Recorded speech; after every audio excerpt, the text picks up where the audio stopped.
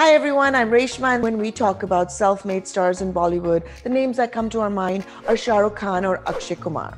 However, in the past years, there have been quite a few fantastic youngsters who debuted in Bollywood without any family ties or godfathers. So let's begin with Ayushmann Khurrana, who was a radio jockey before his acting career.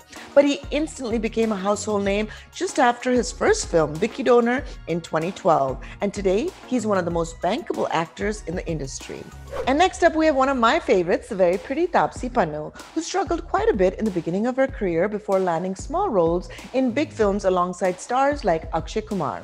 And with her hard work and talent, she's now carved her own niche in Bollywood as a versatile actress who can do it all. And Rajkummar Rao has become one of the most lovable underdog of Bollywood. But success didn't come easily for this actor. After appearing steadily in one film to another, his talent being noticed in all of them, he has overcome all obstacles to become a force to be reckoned with today. The beautiful and very talented Radhika Apte had a slow and steady start in Bollywood after she joined the industry straight from college. It took this actress 10 years to earn notable projects with back to back movies on Netflix. She has now become a household name who needs no hero to deliver quality work.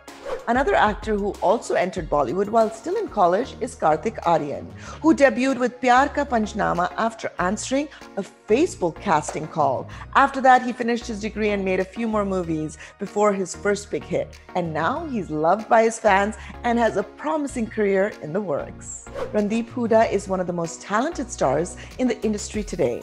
After making his debut with Mira Nair's Monsoon Wedding, this actor waited years before his second project, but his talent kept him working in big projects, and he has been praised in almost all the films that he has appeared in. Aamir Khan's film Dangal was more than a successful film. It launched the careers of two young girls in the film, Sanya Malhotra and Fatima Sana Shaikh. After the launch, both these ladies have since appeared in other big films alongside big stars. Despite being the son of an action director, Vicky Kaushal did not have a typical star kid launch into the industry.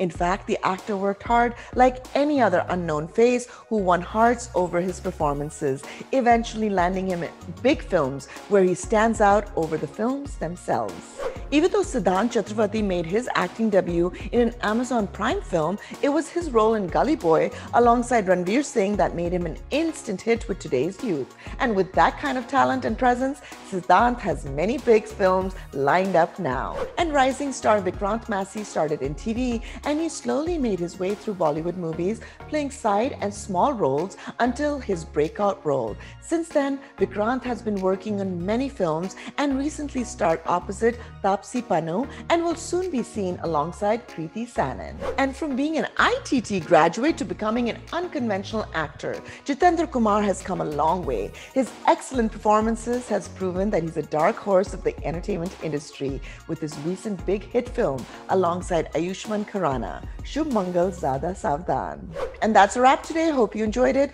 And do remember to join us week after week, same place, same time, and connect with us throughout the week with all our social media and our YouTube channel. Take care, everyone. Bye bye.